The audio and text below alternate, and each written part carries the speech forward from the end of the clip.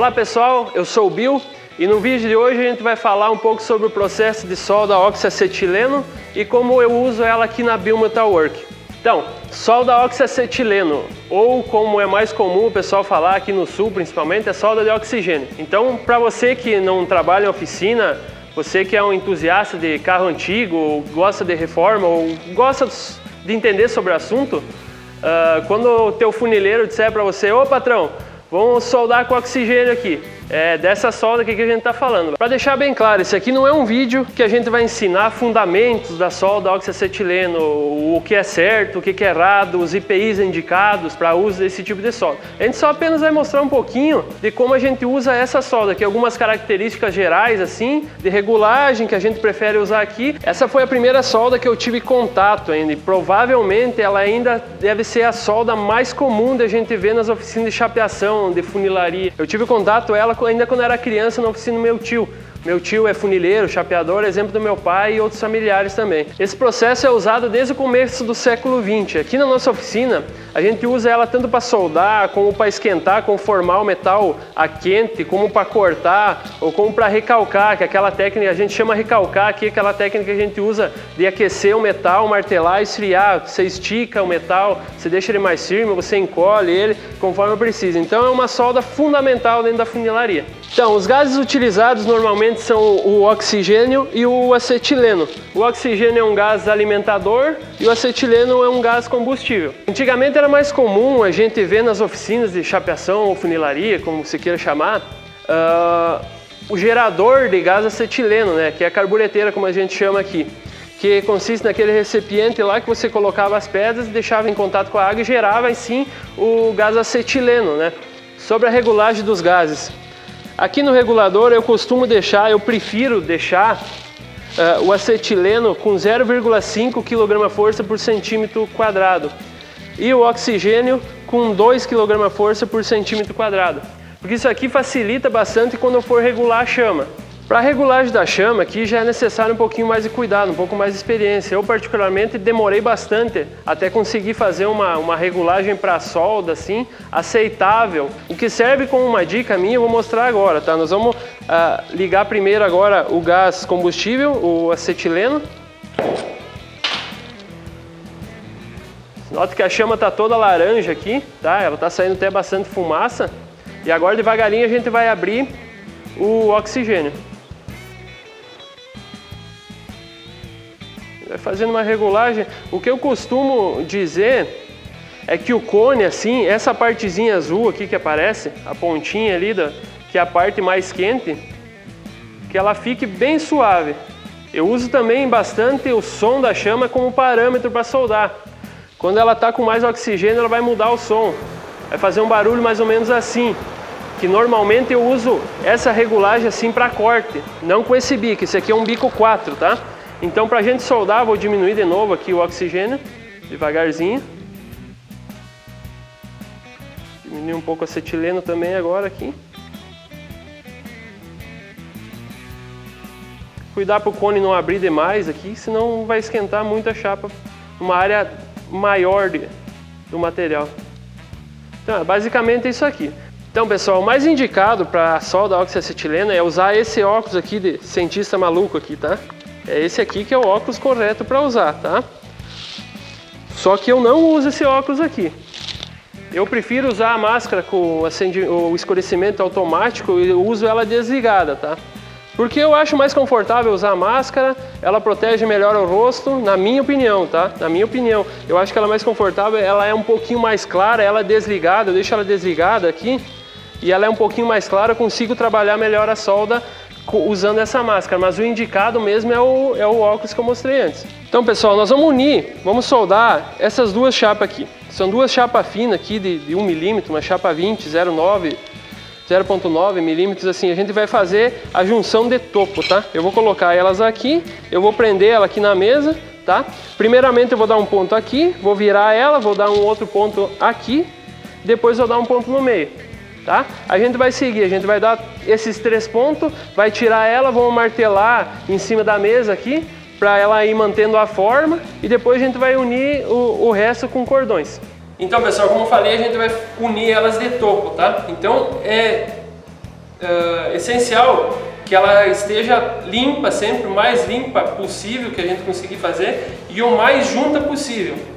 Mais perto possível que a gente deixar ela aqui para a solda oxiacetileno melhor, tá? Mas não que ela fique sobreposta uma sobre a outra, tá? A não ser que seja um caso específico que a solda tenha que ser sobreposta. Mas em funilaria, geralmente a gente, eu não gosto de usar a chapa sobreposta porque é o seguinte, ela vai ficar esse degrau aqui, a gente vai soldar esmerilhar e esse degrau aqui a gente vai ter que estar tá compensando com massa. Essa chapa fininha aqui, pessoal, vou usar essa vareta aqui de adição, ela é uma vareta de 1.6 milímetros, tá? O pessoal já prefere usar um pouco ela, essas varetas um pouco mais grossas assim. Eu prefiro usar essa aqui em chapa fina, ok? Então pessoal, a gente já deu os três primeiros pontos aqui que vai servir para ela não abrir, tá? A gente pode ver aqui que ela já começou a empenar, ó. A gente pode ver que ela está começando a se curvar aqui, tá? Então antes da gente continuar o processo de solda aqui, a gente já vai martelar ela aqui para não ficar muita coisa para o final. Já martelamos um pouquinho aqui, deixamos elas um pouquinho mais, mais retinha. Então agora o que, a gente vai fazer? A gente vai dar mais um ponto aqui e outro aqui.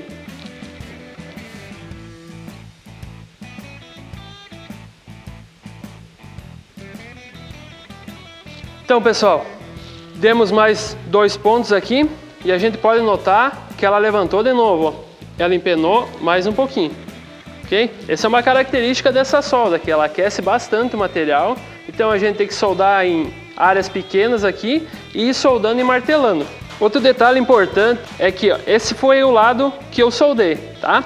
A gente tem que cuidar também, sempre que possível, claro, né? A gente cuidar para ver como é que ficou do outro lado a solda, né? E a gente pode ver aqui que ela derreteu, ela caldeou, como a gente fala popularmente, ela caldeou do outro lado também, né? Então ela fundiu mesmo uma chapa na outra. Aqui a gente tem a certeza que elas estão fundidas. Próximo passo agora então vai ser unir esses pontos que a gente deu com cordões.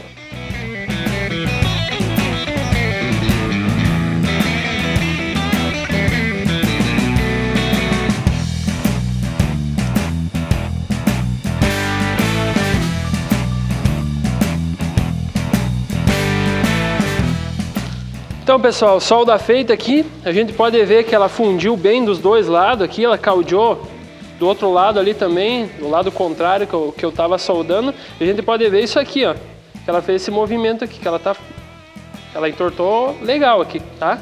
Com certeza eu não faria uns cordões compridos assim, numa solda aplicada, tá? Teria que ser feito mais ponto pequeno assim e deixar por último assim para você unir eles com os pontos maior e fazer um de cada vez, bem devagarzinho assim, martelando, tá? Mas isso aqui como era uma demonstração, eu achei que ficou bem, bem aceitável. Essa aqui já foi uma solda que a gente fez, foi uma, uma junção em ângulo aqui, uma solda em ângulo, a gente colocou, tá mais ou menos aqui 90 graus, né? A gente usou um tubo de base aqui para prontear ela, tá? E a gente vai fazer de novo, vou mostrar num processo detalhado para vocês também. Então é muito importante, a gente pode ver que ela fica com acabamento muito bom, Tá? Ela fica bem baixinha aqui, ela, essa, quase não precisei acrescentar a vareta aqui, ah, não precisei acrescentar material de edição nessa parte aqui, tá? A exemplo dessa aqui também. Essa aqui também praticamente eu não precisei acrescentar muita coisa de, de material, né? Essa aqui é uma junção de topo, essa em ângulo, tá? Então, na mesma forma que essa aqui a gente quer que ela transpasse do outro lado, que ela fique caldeie do outro lado ali, essa aqui também acontece a mesma coisa. A gente pode ver aqui que ela derreteu bem por dentro aqui, tá? Então, se caso eu precisar fazer um acabamento, esmirilhar, lixar bem essa parte aqui, eu não tenho problema de tirar, deixar reta essa parte aqui, porque aqui por dentro ela também está fundida. Agora vamos fazer uma solda em ângulo, tá? Eu usei esse tubo de base aqui para a gente conseguir chegar mais ou menos nos 90 graus, tá? Claro que aqui em cima da bancada é tudo fácil, tudo bonito, tá? Mas é uma maneira mais fácil que a gente tem de mostrar o, o processo para vocês. Beleza? Então, mesma coisa, eu vou dar um ponto aqui, um no meio e um no final aqui. Depois a gente vai tirar de cima e vamos soldar ela inteira fora da, da morsa.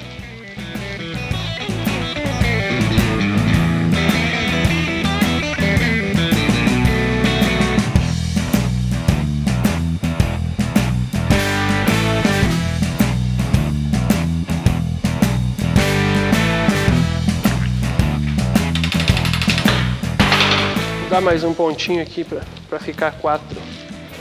Distribuir melhor. Então, a gente vai ver nessa parte aqui que a gente praticamente não precisa adicionar material quando a solda é feita desse jeito aqui. Porque com o material da chapa mesmo ele já vai fundir um, uma peça na outra.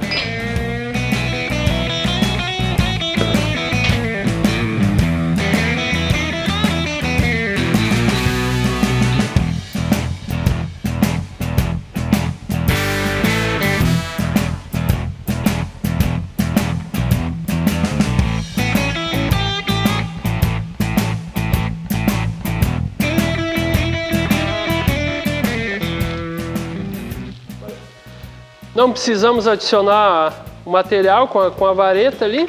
A gente pode ver que algum lugar não caldeou o suficiente aqui. Aqui no comecinho aqui ela tá bem legal e nos outros lugares ela, ela passou para outro lado legal, tá? Mas ela não vai quebrar por isso aqui. O ideal é que ele passe em toda a extensão da solda, que nem nesse aqui, ó. Esse aqui é o ideal de ficar, tá? Aqui tá aceitável, ok? Sobre a solda oxiacetileno era isso aqui que a gente queria mostrar para vocês. Com certeza tem muito conteúdo sobre essa solda aqui, tem muita coisa ainda que a gente precisa estudar, que a gente precisa se informar a respeito dela, que a gente precisa treinar, porque a base de tudo isso aqui é a prática, a experiência, né? Então, a solda que a gente fez antes, aqui, as duas soldas que a gente se propôs de fazer, uma de topo, uma em ângulo, a gente já tinha feito alguns testes antes aqui para mostrar para vocês. Essa aqui a gente já deu um acabamento, a gente pode ver que ela fica uma solda baixinha, a gente pode dar um acabamento, uh, esmerilhar bem aqui, que ela vai ficar na mesma, no mesmo nível da superfície da chapa, não precisa ter medo de, de esmerilhar ela. Queria agradecer o pessoal da Dalri Máquinas, seu Valdecir Dalri e toda a sua equipe aí. Queria também mandar um abraço para o pessoal do grupo do WhatsApp do Facebook, o grupo Funilaria e Pintura, tá? Abraço Alisson, abraço todos os administradores, todos os membros do grupo, valeu? Nós queremos muito produzir mais conteúdo desse tipo, sobre funilaria, sobre os outros tipos de solda que a gente usa aqui na oficina, sobre carros também, como a gente falou no outro vídeo. Ah, então, para isso, a gente pede que você curta se você gostou, que você se inscreva no canal, que você compartilhe o vídeo, que ajuda bastante na divulgação. Curta nossa página no Facebook, nos siga no Instagram, valeu? Obrigado!